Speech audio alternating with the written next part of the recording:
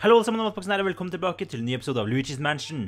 I forrige episode så fant vi vannelementet. Det ser ut som vi må suge det opp igjen for å få det på støvsugeren vår.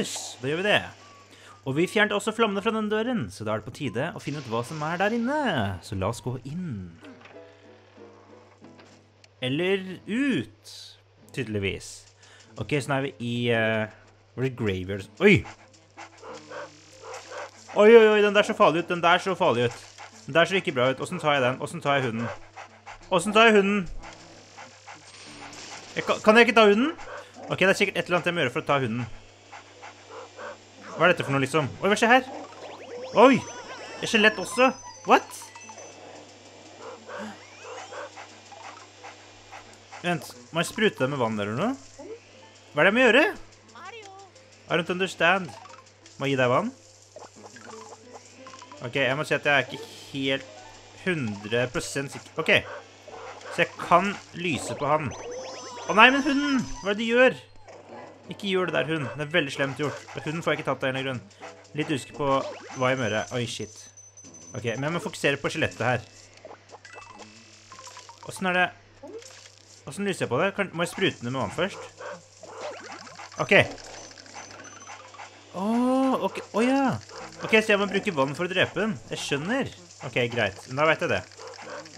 Da vet jeg det. Så jeg må bare drepe den mens hunden prøver å jakte på meg, og så må jeg ikke bli tatt av hunden selv. Dodge. Ok, vi tok Mr. Spøkelse, eller Mr. Bones, og det ga oss det beinet der. What?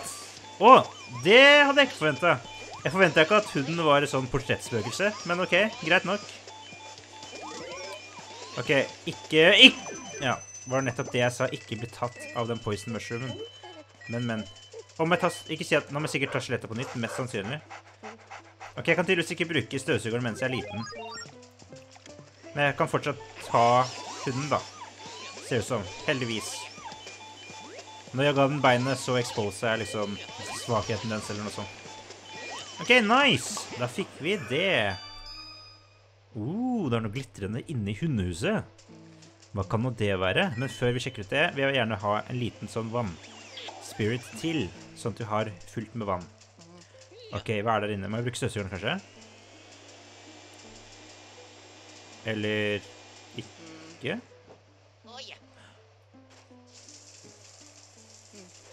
Er det bare jeg som ikke forstår noe?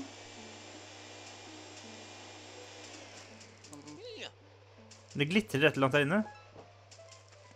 Hva er det jeg skal gjøre her? Er det bare jeg som ikke forstår noe, eller? Oh.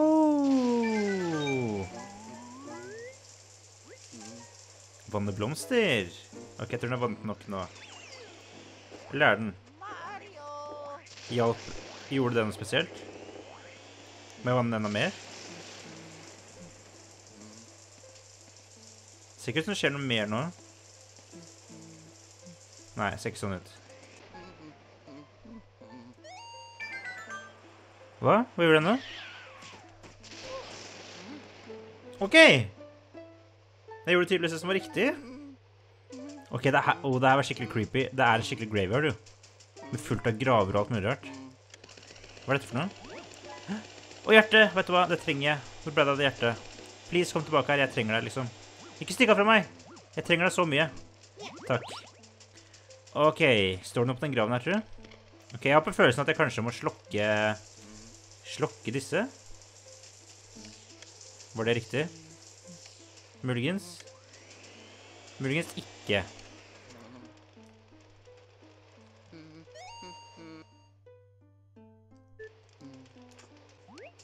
Yay!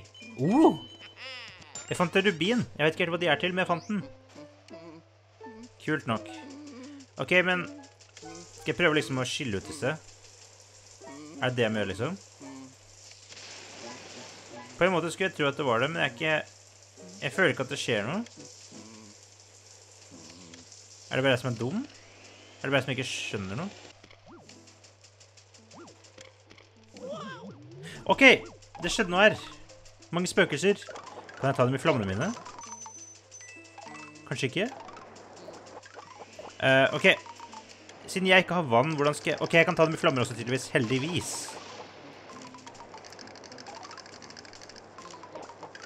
Oi, jeg må faste meg litt her også.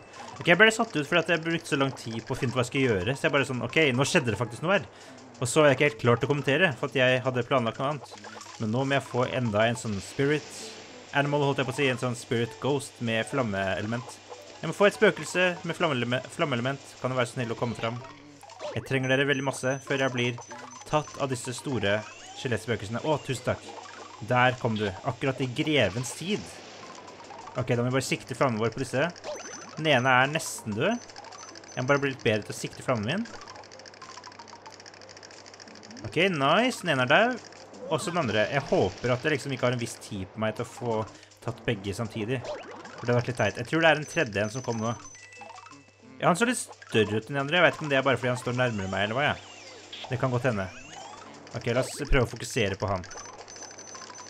Jeg tror det er like, altså. Eller han så mye større ut, men det kan hende jeg har fått den der nærmere skjermen, muligens.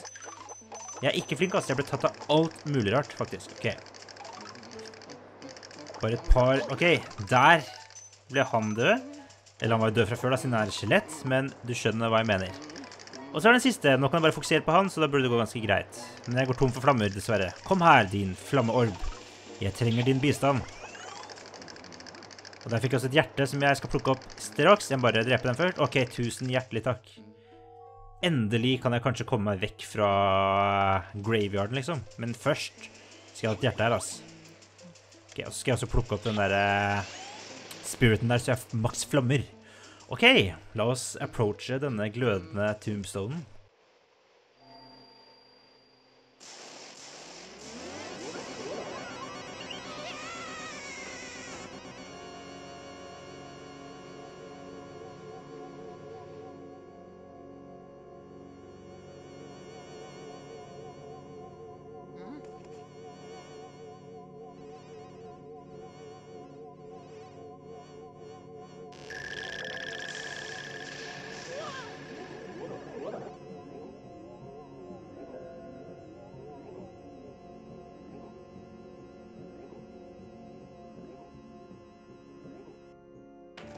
Ok, så det virker som dette faktisk er liksom hovedbossen av eh, andre område.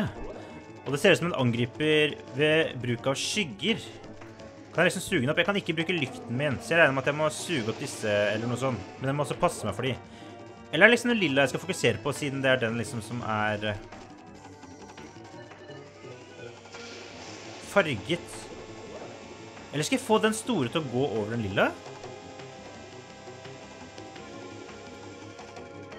Nei. Ok, det ser ut som noe skjer når jeg fokuserer på de skyggene her. Så ok, da prøver jeg å suge opp alle skyggene først, og så tar vi den lilla etter hvert. Jeg må bare passe meg for disse så ikke de tar meg. For det hadde vært veldig, veldig slemt. Ok, den ene har blitt større. Tror jeg. Ok. Åh! Ok, ikke sånn. Jeg tror kanskje jeg skal bruke... Jeg tror kanskje jeg må liksom sikte... Ok, skal jeg sikte på den andre? Nei, jeg tror jeg må sikte på den lilla. Ok, la oss vente til den lilla kommer fram. Så tar vi og prøver å skyte på den. Eller må jeg skyte disse her? Ok, det... Der skjedde ingenting. Jeg tror kanskje det er at jeg må ta oss og sikte på den lilla. Ok, la oss... Oi! Jeg gjorde noe. Ikke 100% sikker på hva jeg gjorde, men jeg tror jeg traff han med... Jeg tror jeg traff han med skyggen eller noe, så da ble han synlig? Spørsmålstegn? Jeg må si at jeg er ikke 100% sikker på hva jeg driver med egentlig. Ok, men jeg tror det er bedre jo større ball jeg har. Kanskje jeg bare må mate han mer og mer skygge, eller... Ok, det ser... Ok, så jeg må liksom få skygge rundt han for at jeg kan suge den opp.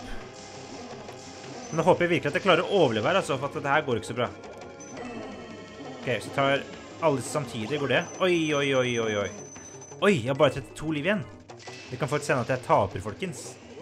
Det vil jeg helst slippe. Ok, la oss suge opp den der. Ok, takk. Så kommer dere vekk fra meg, så må jeg finne en lilla et eller annet sted. Der. Ok, og så går vi vekk fra de andre. Gå vekk fra det lilla. Nei, gå vekk fra det svarte, mener jeg. Gå vekk fra de. Gå vekk fra skyggene.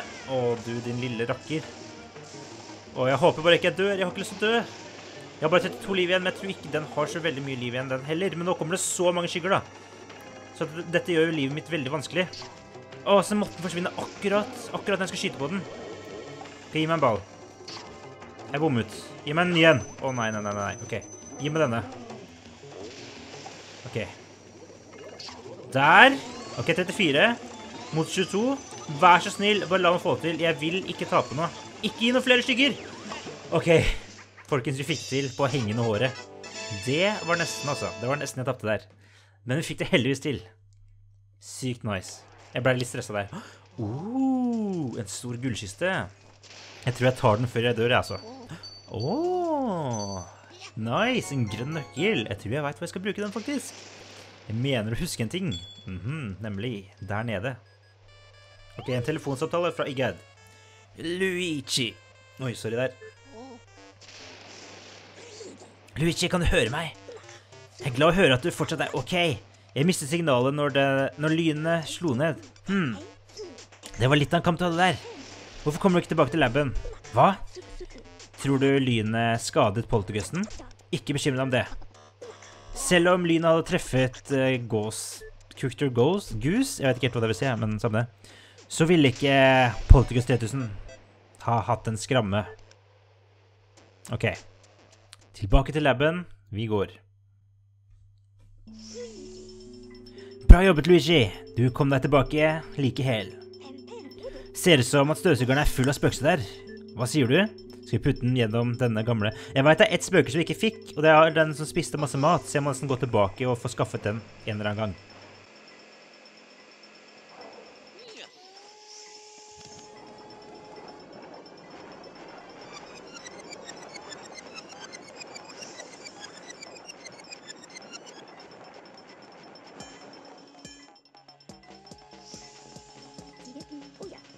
Noen bø nei, spøkelsene er usynlige, så vi trenger å presse dem til synlige former.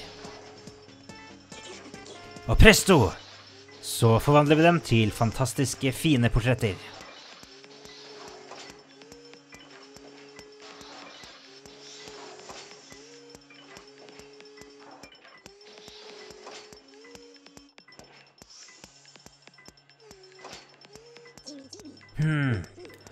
Vel, vi klarte å gjøre disse spøkelsene tilbake til malerier.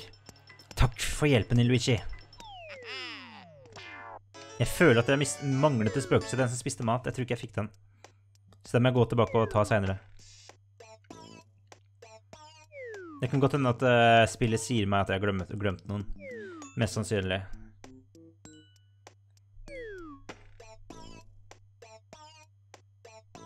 Ja, jeg føler at jeg, jeg føler at jeg har gått glipp av én eller to. Det ser ut som det er plass til liksom to malerier til. Åtte. Jeg føler at det kanskje skulle vært ti. Muligens. Så det er kanskje to spøkelser jeg har gått glipp av, da. Muligens. Og jeg skulle ønske de pengene der var ekte og var på min konto. wow! Ni millioner. Nice. Ok, folkens, men jeg tror dette var alt for denne episoden, så hjertelig tusen takk for at du så på denne videoen av Luigi's Mansion til Nintendo 3DS. Hvis du likte videoen, legg gjerne en like på videoen, kommenter den for og abonner på kanalen for flere videoer, så ser jeg dere neste gang. Ha det bra!